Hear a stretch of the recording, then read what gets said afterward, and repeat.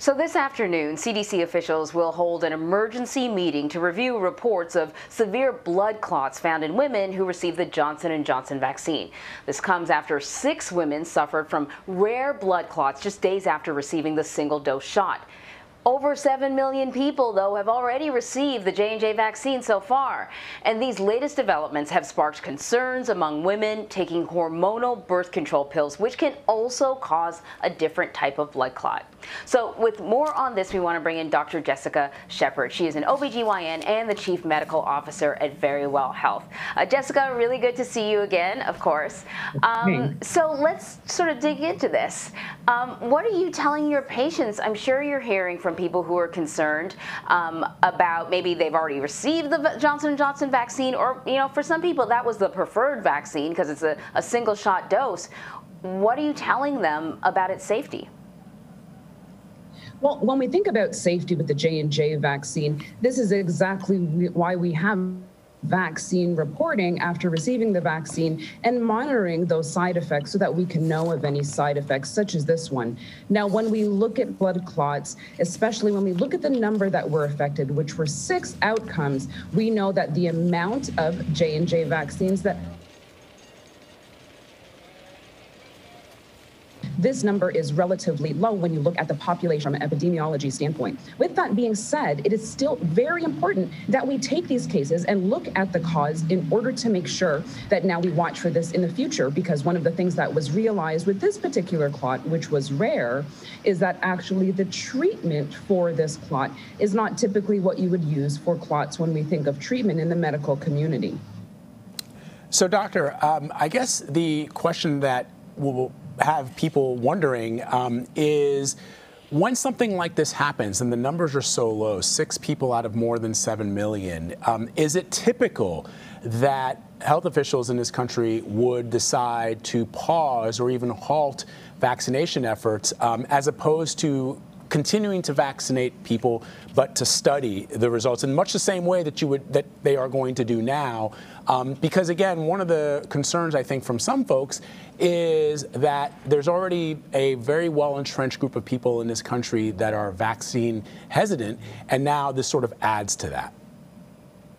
Exactly correct. So when you have vaccine hesitancy and people who are reluctant to get the vaccine, this is why we take a step back to look at exactly what it is that we can give validity to while still we have other vaccines that we can continue to vaccinate the rest of the country.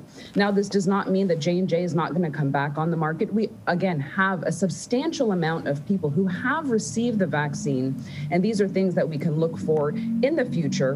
But again, these are the kind of reactions that the FDA and the CDC should take responsibility for to actually reassure the public because what we want to do is decrease misinformation and vaccine hesitancy. And this is one of the ways that we can do that.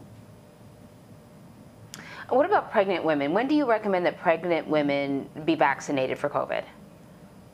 Now, again, we're going to follow those same recommendations for vaccination and pregnancy. Now, I know there is some concern when you think of a clot and reproductive uh, reproductive age or fertility in women, um, mm-hmm. especially because that's who was impacted with this particular outcome, is that we still want pregnant women to get vaccinated. There is no perfect time. If you do have time to wait, you might want to wait outside of the first trimester. But again, these are discussions that we would want women to have with their OBGYNs but the recommendation still says the same is that there is no reason why a pregnant woman should not be able to get a vaccine.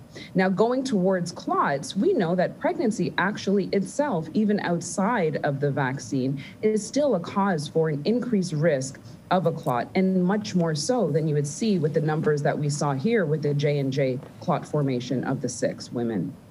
So, Doctor, you're probably aware that the White House has declared this week Black Maternal Health Week. Uh, Vice President Kamala Harris hosted a roundtable yesterday.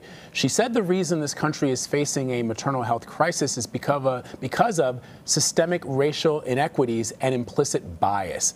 Uh, explain that to our viewers and what doctors can do right now to change this reality.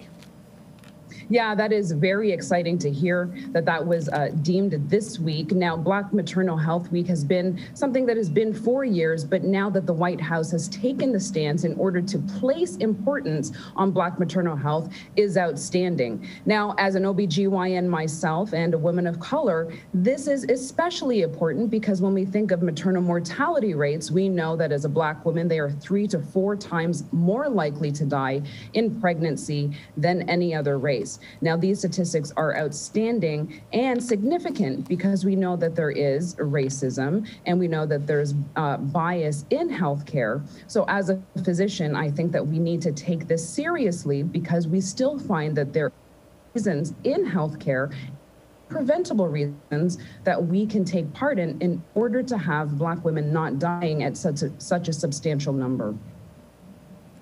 All right, Dr. Jessica Shepherd, thank you very much. We appreciate it.